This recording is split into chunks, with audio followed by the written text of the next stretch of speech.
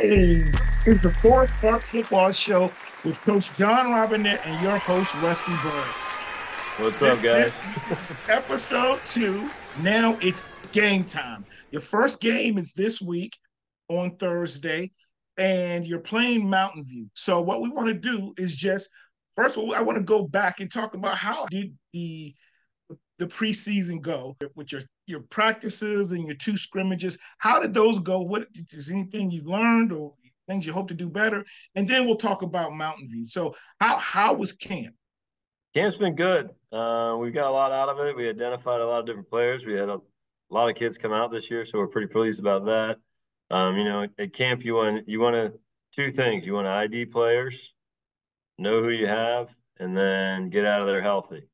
And for the most part, we've done both. Um, you know, it's not like the old days back when we played where you, you know, went two hours in the morning and then you came back at night, went two hours. Yeah. You know, the structure's a little bit different. It was a hot August, I'll tell you that. It, there was a good two weeks there where it was it was pretty hot, and so we got out a little bit later. Um, but the kids did a great job. Um, we ID'd a lot of different kids, a lot of good competition. I mean, we value competition over everything, and again, I think we put together a pretty good team. Scrimmage had two really good scrimmages. Scrimmage Colonial Forge, uh, really good team. You know, they're a measuring stick team in our region, and they've got a, a solid, really good football team. And uh, you know, they put it on it pretty, pretty, pretty good. They put it on us pretty good. And okay. but we learned a lot about who we were at that point. Um, and some of the guys stepped up, and you know, when you play really good competition, it, it's good. Uh, and then mm-hmm. we had a, another scrimmage against a good James Monroe team. And you could see there was a difference from scrimmage one to scrimmage two. There was improvement. It's things we needed to work on, we did, and you could see it out on the field. Um, okay. And I was really pleased with that. And then, you know, we've had a, a good week of practice this week. Um, kicked off our freshman and JV seasons on Monday night. Tonight we had a good session, even though it went a little late just because of the weather. Um, tomorrow, hoping we get out, get to do something with the the county and the heat. But everyone's doing the same thing, so it's not like it's just us. And then Thursday we roll down to Mountain View and play a really good Mountain View team, and I'm excited about that. Two. Um, you've played them the last. This is your fourth year in a row playing them, yeah. and you you coached there for eight years.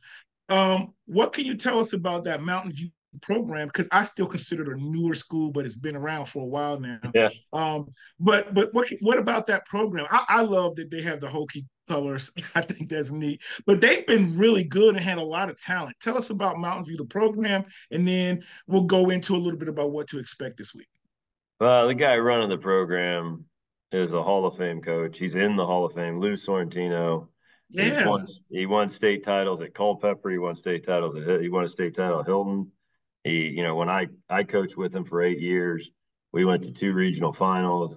There's it, it's always had talent and it's always had numbers, and Lou has a lot to do with that. He he's a just a really good head coach. I learned a lot from him, um, working for him, and they're just solid program. They've got good players, good kids, and every few years they they knock it out of the park with three or four really really good players.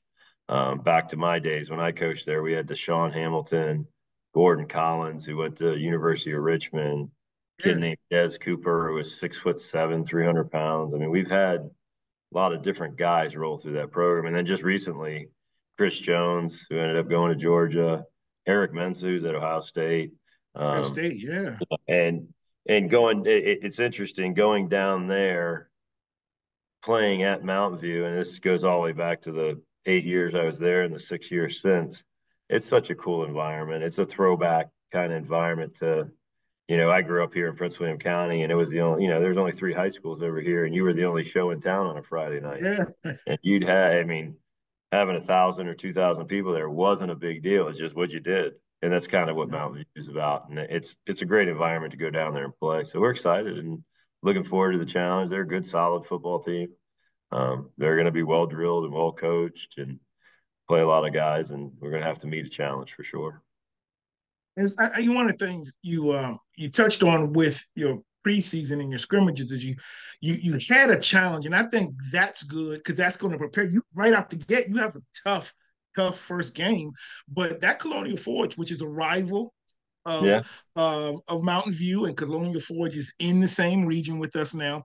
Mm-hmm. Um, I, know when I've coached um, and when we've had good teams, it's hard. No matter how much you try to drill and talk, but like if you're winning and everything is all, it's hard to be able. If I can't point out some things and and make you realize like oh you know you didn't do this perfectly and it's not going to always be that easy so um, that's one of the things i'm sure you got from the colonial forge game and that's that's good you know you, have rolled through those scrimmages and it's like ah it's hard to, to coach but yeah no i mean i was i was really pleased i mean i wish we would have played a little tougher a little bit better of course um, against colonial forge but it was a nice eye-opener i think to a little bit you know we've been getting a lot of good publicity and people think we're going to be pretty good and I'm okay with that. With you know expectations comes honors and that kind of thing. But it was a nice eye opener for us, and it didn't cost me anything other than a scrimmage. You know, and you know Thursday's going to be a big test about where we are mentally and and, and keeping our focus and doing what we need to do in order to compete and win a game.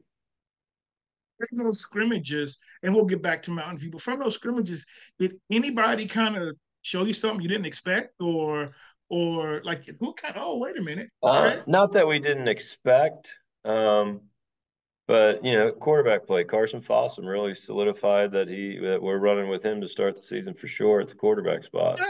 Um, and you know it's been nice. We've got uh, antonio jones has been running the ball a little bit more and he's he's pretty electric when the ball's in his hands.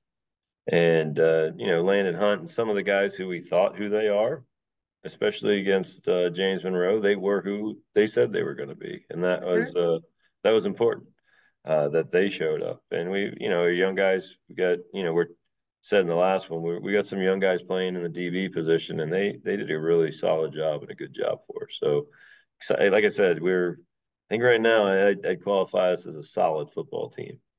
Uh, I'll have oh, to see great. what it's like come Thursday, but I I'm feeling pretty pretty confident at this point with with this with this game against Mountain View, what can uh, people that haven't seen Mountain View or can't get out there? What style of play do they have?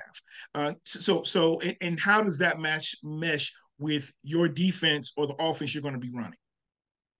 Yeah, Mountain View, and again, I learned this from Lou. Um, they're going to play good defense. They're not going to give up big plays. They're going to make you drive the field. Um, they're going to play really good special teams. They're going to field position. He's going to take his shots. Uh, you know, one of the best play call. You know, last episode we talked about stringing plays together, calling plays at the right time. Coach Lou, Lou Sorrentino does a good job of calling that right play at the right time, whether it's reverse. Uh, I remember years ago we are playing Colonial Forge and it was a big game, and he pulls out hitch and pitch and I hear that on the headset. I'm like, whoa. He's like, we got it. And then boom, just changed the scope of the game. And it's just like, man, what a call, you know? Um, right. And he has that.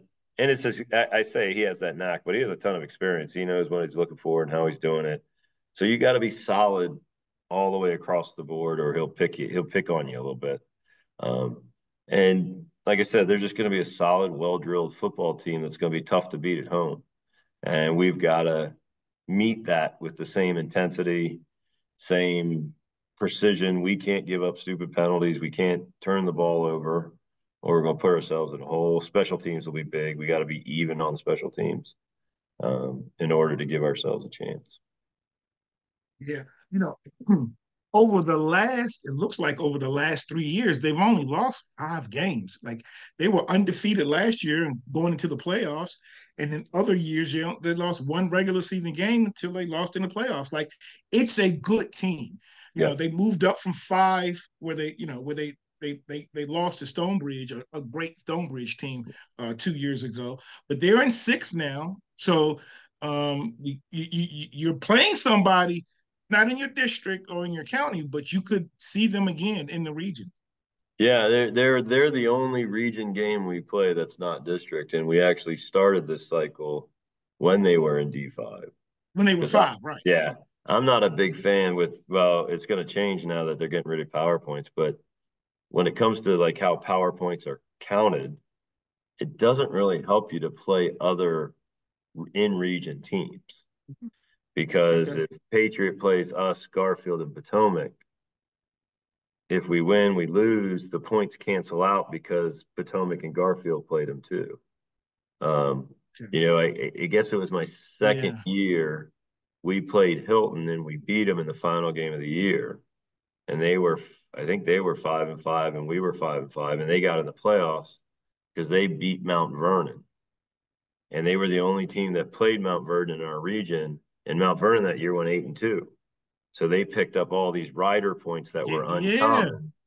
So I, you know, I, I, do my best to try and stay out of the region, uh, mm-hmm. just for that reason. Because we, and I think last year and two years ago, we ended up improving our seed based on the fact that, you know, we played these teams that know we played Woodgrove, and Woodgrove went seven and three, and we're picking and yeah. Briar Woods a couple of years, and they went, you know, one year it was ridiculous. The like the first seven games, the combined record of those seven teams were like 68 and two at one point. It was ridiculous how good they were. um, and it, but it helped us in the long run. Hey, you're playing good teams. You want to play good teams on the field yeah. too, with the, the way the PowerPoint system is based. It helped us that way too. But you know, we'll see next year because the PowerPoints go away. There, the VHSL has kind of kicked it down to the regions to figure out. I saw that, yeah. Um, and I'm not 100% clear on how they're doing it yet. No one's put anything out, so that'll be different. Okay. No, I, I appreciate you explaining that, Coach. I see your schedule. So you're playing Mountain View. You're also playing Riverbend. Um, you're playing Varina and Alexandria City. I think they're going to be a little stronger this year. It's a pretty good non-conference schedule. I, I, I know Varina should help in points, getting those points from another region and even you know different classification. Overall, overall, if again I did this thing at the end at the end of the year, what would you consider success? Like you were five and five, six and four, six and four, right, Coach? Yeah with this schedule, you're setting yourself up. I like, I really like, you know, have some tough, those tough non-conference games. I think this year the district will be really, really strong. Um, but is there a number that you're like? I, of course, you'd love to go ten and 0, but you know, seven and three. Uh, is it eight and two? Is there anything that you you all feel like, oh, this is uh, the mark we're looking for? Not anymore. At this point in the season, and this is gonna sound kind of cliche, but it's all about Mountain View. Let's go one and zero, oh, baby. Like it, okay. it, it's it's what we're into. What's in front of me, uh, and okay. if you, you, that's where you get in trouble with our schedule. One, we mm-hmm. got four good ones on the schedule now. You know, we play our our four and then our six district games, and you, you can't it's just bad news with the teams we play to start looking around and start judging records and things like that. It's fun to do in the off season but right now it's uh you know we got a mountain views in front of us and that's what we're we're rolling with. Okay. Yeah no i feel you i feel you in there. Hopefully you'll get a lot of support to travel down from prince william down there to stafford to support you in this first game um, you talked about your quarterback play. Um, how does it does the team look their focus this week? You feel like, hey, you're seeing like, okay, this is where we want to be just a day or two out before a game. Yeah, I mean, I, I, loved our energy and effort tonight. Like I said, we had to back practice up because of the heat. And when you get young people, sometimes a little bit of change isn't, they respond differently, but the guys responded great today. Um, we have one of our assistant coach, Coach Pulley, does a great job kind of framing kind of the message of the day, the message of the week, and he did a great job of that today, talking about adversity a little bit. And we we had a good, really good practice today. Now we got to clean some things up, um, and we got to continue to work on our special teams. But I think I like what we're doing tomorrow. Who knows with another heat day whether we're going to be able to get outside or get off. I mean, it's it's tough on a short week and we also have back to school night, so we can't go late again. Right, um, right. But it, that's okay. Everyone's got everyone's got something. so it's right. not like the weather's extremely different down in uh, down there. And I mean, yesterday the same thunderstorm that rolled through Monday for us at two was down in Stafford until five. So who knows whether they got on or off. So you know, mm-hmm. I only coach one team. I can only control one group, and uh, I think I like where we are. And I think we need to string some days together and Peak on Thursday. That's right. Still got probably a long night. You're probably whether it's looking at film or just sitting around with your family or whatever. But I appreciate you taking the time to come on the show, and I know it, I've already heard some some great things from the fans out there. They like this show. It's going to continue to grow. But I know I learned some things tonight, so I know uh, some of those Forest Park Bruin fans have as well. So, anything else, Coach, you want to leave us with before we sign off? No, man, you know, if you're interested in coming down, let's get a good crowd there wearing some uh, blue and green uh, to offset some of those hokey colors um, and see yeah. if match their crowd. And, uh, you know, we'll do our best to give you something to cheer for. And I appreciate, right. you know, I, I enjoy this time with you, man. All right. Well, thanks, Coach. I enjoyed as well. So, for, for my man, Coach John Robinette, I'm Rusty Byrd. This has been the Forest Park High School Football Show. We are out. Go Bruins.